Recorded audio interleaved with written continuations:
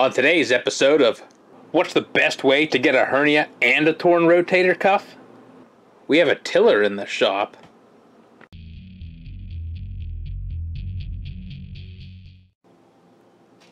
Now, this thing, it's been sitting around for so long that I don't actually remember how I acquired it. It was either a freebie or like a $2 purchase at the auction. I don't remember which. But either way, here it is in the shop, and apparently it's wanting a rebuild. Well, maybe not a rebuild, but at least a revival. So, what's the plan for this thing? The main plan is get it out of the way. And this is not the normal thing to come through the shop, unless it was like a paid job, because I hate working on lawn equipment. And I had to move it out of the way to work on another project. Well, here it is. It is a Merry Tiller by Suburban. Can't be no GMC Suburban. Not nearly enough doors for that. The hot rod guys would say that this thing has excellent patina. I like to call that poor storage. It was sitting underneath a piece of sheet metal that was formerly the roof of a tractor. And if you can see that, it at least still turns over, so that's half the battle. But these old flex grips, they sort of look like they was off a snowmobile, so maybe that's got something going for it. Now, prior to dragging this thing in here, I dumped out some stuff that would make the La Brea tar pits jealous, but we just couldn't have that, you know, aroma wafting through the shop here. I do appreciate the fine adjustment system for the drive here. I mean, this is old school, just mechanical linkages. Simple as you get right there. I wonder if this is one of those tillers that if you let go of the handles there, it just kind of takes off in autopilot mode. Now, being that it's an old Briggs, basically got to go through the basic motor stuff, clean it out, make sure we got spark, maybe get some more of that tar out of the tank. Go and check the uh, bearings and pulleys, make sure everything's spinning free. Who knows if the belt's still hanging in there. Other than that, this is a pretty simple machine. I'm sure I'll regret those words later. First step is going to be getting this thing washed off thoroughly.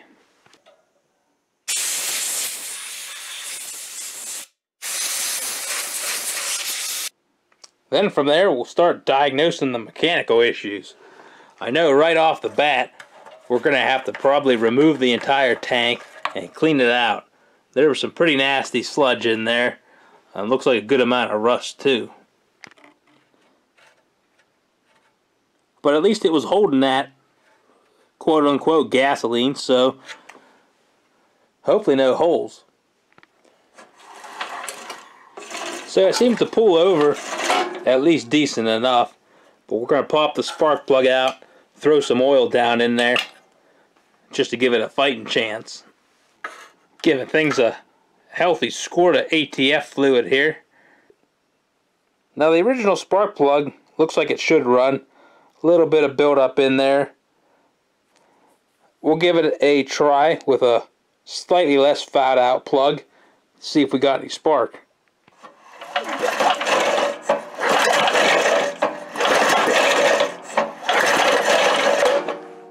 That's a negative. Better check the 710 fluid. Ooh. That's a little bit cloudy. Could have been worse if it was overflowing from a bunch of water in there though.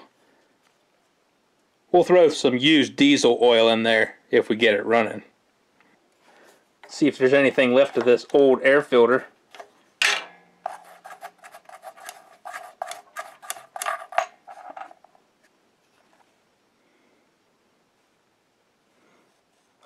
She's still mint. Now, for some reason, the throttle cable really wasn't anchored down there, so it's just kind of floating out in space. I guess we'll worry about if I could get that wire out of there. One of the biggest things I appreciate on older machinery like this is the simplicity. To engage the belt, what you have is a pulley down there that basically has an idler pulley that rides on the outside of the belt hooked to a little linkage arm there and this cable runs up just kind of grinds on the handle a little bit up to here. And that is your drive system. And when you want to put it into autopilot you just jam down this button here locks in the handle and you're rototilling pull up on it let off I mean that's about as safe as you need it to be right just don't put enough gas in this thing to make it to the next county if you let go and she goes off on a trip. So it appears that there are three screws to remove the carburetor from the tank and hopefully that just drops off. Probably going to tear the gasket in the process. Of course there had to be one hidden bolt underneath the tank. Well we still can't get this tank off. Well this has quickly devolved into tearing the carb off and dealing with a bunch of linkages that I don't know how they work. There's like all these springs. Yeah, there's a little bit of dirt down there. Not sure what's going on with this concrete looking like stuff. Carburetor was probably due for a rebuild. So we're not going to give the tank a full-on restoration we're just going to give it a de-rustoration. Throw some gravel out of the driveway down in there, spray in some carb cleaner, shake it around for a while, and that's probably going to be good enough. A little bit of rust floating around in the gasoline won't hurt things. It'll help the rings seat in again. So we just spent 15 minutes trying to clean out that gas tank. And before we move on to the carburetor, going to try and actually get spark first.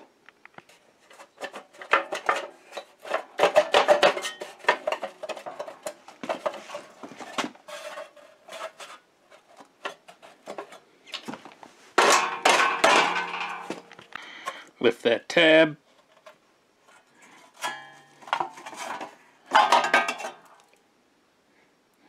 Ooh, yeah. That's a lot of debris. We got uh, some dead hornets, some stink bugs, mouse house. I gotta admit, I kind of forgot that there's no points in here. That could be a problem. Gonna have to find out why she ain't lightening off. Maybe we better take a look underneath the electrical tape. Normal mouse damage, but the core's still intact, unlike Chernobyl.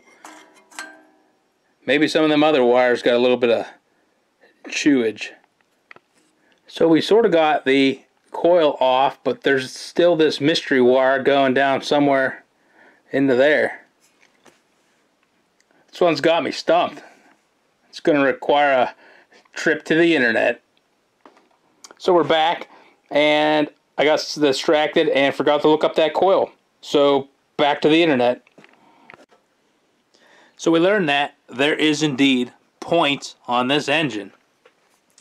Now after trying to figure out how to get this thing off of the flywheel, we realized that this was just a percussive removal process.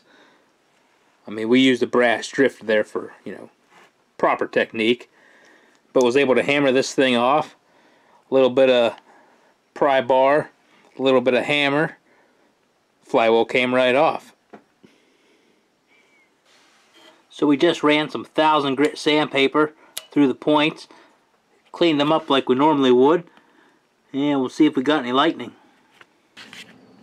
Now if you watch closely, and hopefully I don't lose a finger,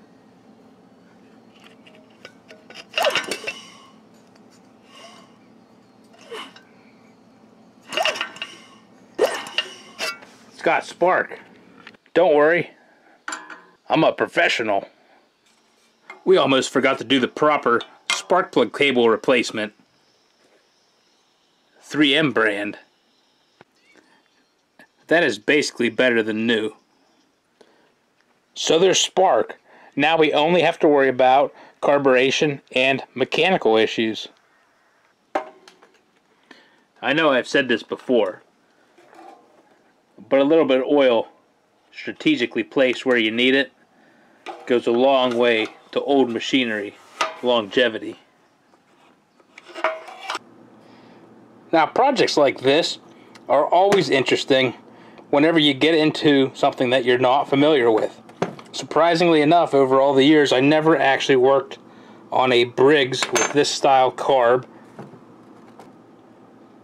And it might be unfamiliar and you don't know exactly all the problem areas, but time to figure it out. That diaphragm is looking pretty grungy, but we're going to try and salvage it because I definitely don't have another one of those laying around. I doubt it was getting much fuel flow. Well, after forgetting about the carburetor for a couple of days in the sonic cleaner, it looks a whole heck of a lot better than it did before. And we've got all the other pieces uh, cleaned up and ready to go here. Give that old gasket one more shot at PB. Well, thought that the carburetor was pretty clean, but turns out we've got some other issues. There's actually a crack right here in this brass pickup tube. Find out when we were spraying carb cleaner in there and it was shooting out the side. Of course it hit me in the eye. Somehow we were able to remove this pickup without breaking it. Huh. Still a little bit of dirt in there. Initial plan was going to be take a piece of fuel line, slide it over that piece of extension tube, and just seal it up externally. But since we was actually able to get that off, we might do it the right way. Flux it, solder it.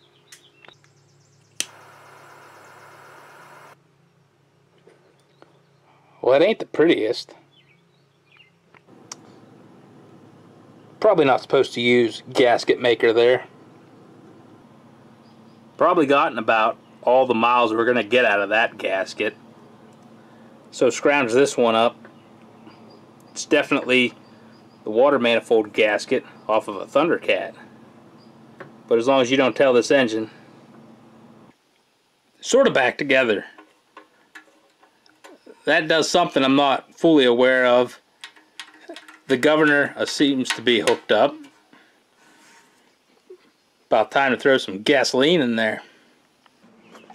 Well, this is some really old gas out of the Suburban, but it's got to be good enough for this old Briggs. Yeah, you just want to spray gas everywhere before you start trying to start something up.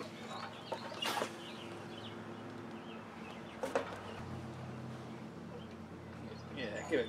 Well, yeah. What do they say? Too much is just enough. Yeah, most of the gas has evaporated away. Let's see what happens here give it a little bit of choke to begin with. That was loud.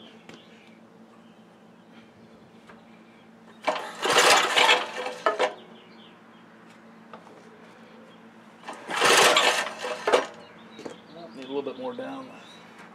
Got some pre-mix.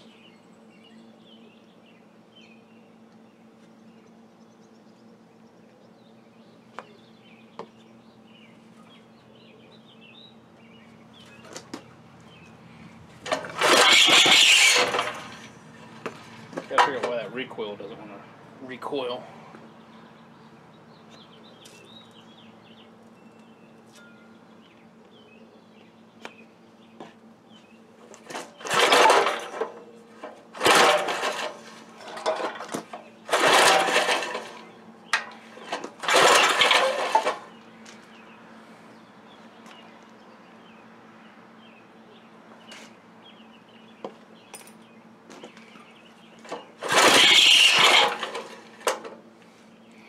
Doesn't seem to be wanting to pull gas.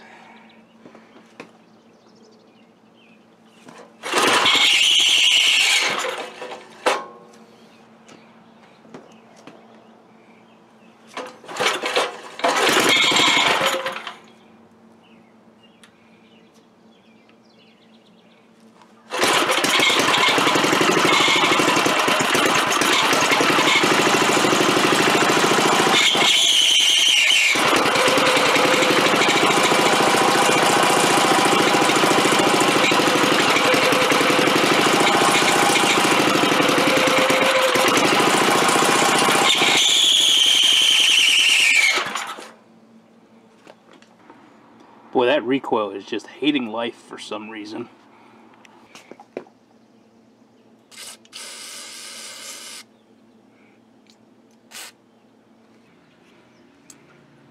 See if we can't inject some more life into this recoil. Turns out the bushing that was making that horrendous screeching noise was inside here, underneath that cap. You can spray some oil in through there or take it off. Hit that bushing and now she's spinning. Let's try this again. Yeah, it's a little bit better.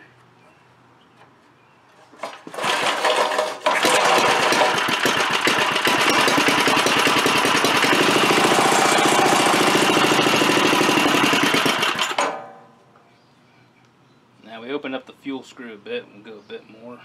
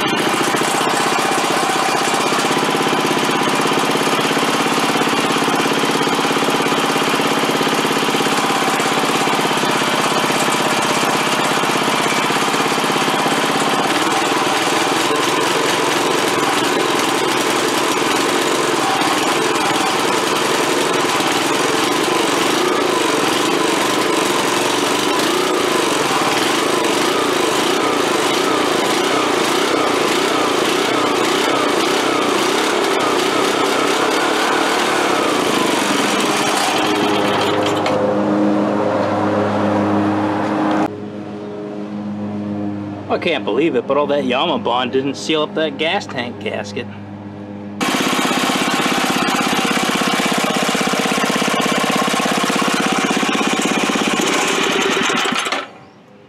Yeah, it worked out well.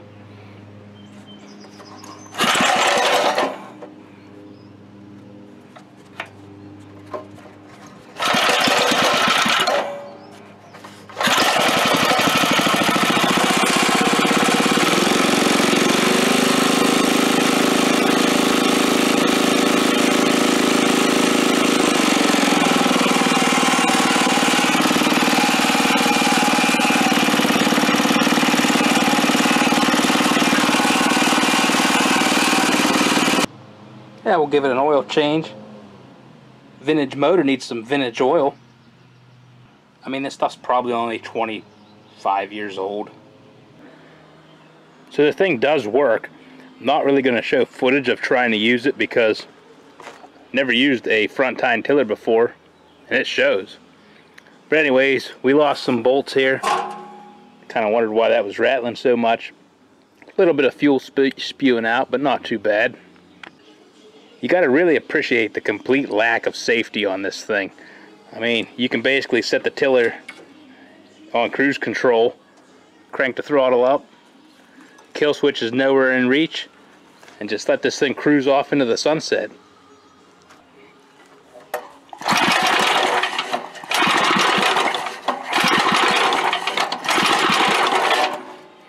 It's cold-blooded, that's for sure.